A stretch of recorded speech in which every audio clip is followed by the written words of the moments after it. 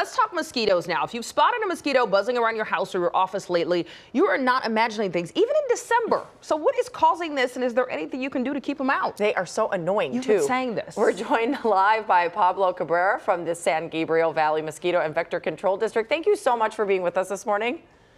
Thank you so much for having me. I really appreciate it. Okay, so Pablo, this came about because we in the newsroom, there are a bunch of us that are swatting each other because of the big mosquitoes right now. And at my house, I killed four yesterday. Why am I seeing these in December?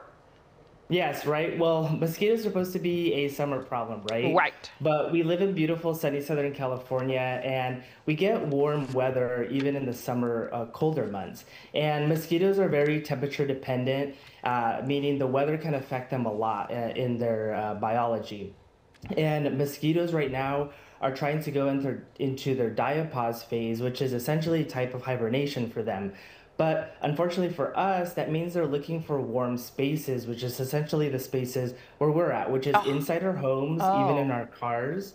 And in vector control, we tend to see a lot of mosquito activity in our underground storm drains. But this is fascinating to me. Okay, so mosquitoes have this hibernation-like state, but like I picture a bear like sleeping somewhere. Are mosquitoes like finding warm places and they're all like passed out right now?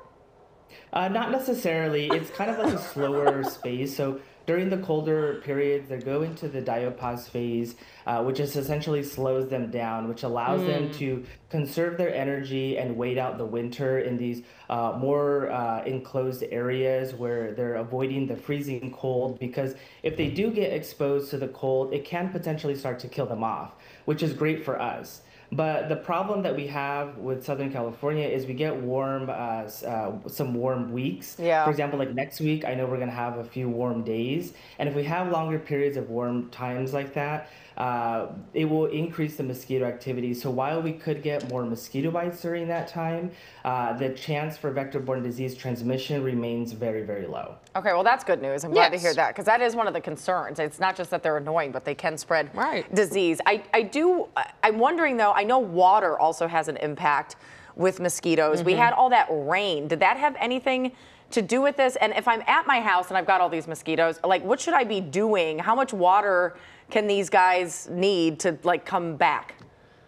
Yeah, so you're exactly right. Uh, the rain uh, does affect the mosquitoes because when it rains, we get a lot of uh, stagnant water, meaning water that's sitting out in sources. Something as small as a bottle cap is enough for Bottle mosquitoes cap? to move in. That's crazy. Yeah, so it's something that small. We tend to think large sources like pools or big buckets. While those, yes, we still need to remove that stagnant water. We want to also think smaller sources, so bottle caps. Uh, our plant saucers are big, uh, are big ones. Even trash cans that are left open. Those are things that we want to want people to inspect their yard, especially after the rain, and eliminate that stagnant water, or store those items in a dry area where they won't collect with water. Okay. Okay, so for people seeing them in the house right now, like Jamie or our coworkers who say they have them at their desk, like what are they supposed to be doing?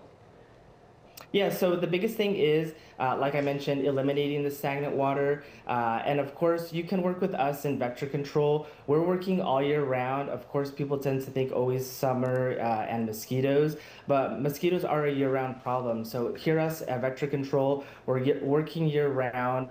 Uh, you can contact us at sgvmosquito.org if you live in the San Gabriel Valley, or for any resident in Southern California, you can visit socalmosquito.org to see who your local, local vector control district is. So I, I know I've talked to people who grew up here who say like 20, 30 years ago, we didn't even have mosquitoes. Is this a new thing or is this something we have had for around for a while? We just maybe didn't notice. Well, we've always had mosquitoes, but really the bite pressure is a lot different now. We have Aedes mosquitoes now, uh, which are the small black and white mosquitoes that we didn't have before. They're invasive species. Uh, they're very established. They're very aggressive mosquitoes, and the biggest difference is that they bite us during the day. So when we're all out and about, getting in and out of our cars, going uh, to and from work, uh, they're active when we're most active. And then they also tend to bite us more than once, so people uh, feel like they're getting attacked by these mosquitoes. So that's why we're feeling more of a bite pressure than years before. Yeah, this is also interesting. Those Aedes mosquitoes, man. Yeah. I'm going to go after them. My, my husband and stepson don't know what's coming. I'm going to dry out the whole house. well, we might need Pablo the mosquito whisperer to come visit us. yeah, Pablo, can you come on over? later. I sure will. And again, it is the stagnant water, so you want to make sure you have no stagnant water. Okay. Oh, and yeah. Make sure that you talk to your neighbors as well, because you know you can do it, but make sure that your neighbors are also doing All it as well. And for people being bit more, is it true that they're like attracted to certain blood types? I've always heard that. Is that true?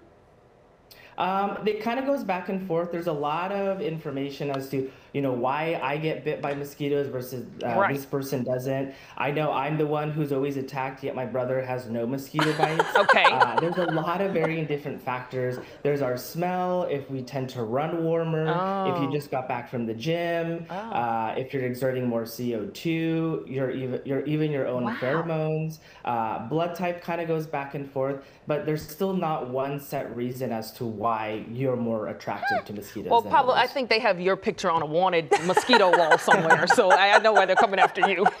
Thank you for being with us this morning. This was really great information. Yeah, he's fascinating. I know. I, we could can talk to you. For, I mosquitoes really all do. Day. I I'm from know, the who south, so like I know mosquitoes, and you have taught me so much this morning. Thank you, Pablo. appreciate it. Thank you so much for having me. All right, take care.